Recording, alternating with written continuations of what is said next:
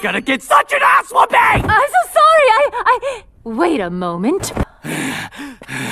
Oh, I see. Did I interrupt your copulation ritual? No! I don't care if you're hot! You'll get no mercy! You mess with the wrong guy tonight, and I'm gonna throw down on your ass!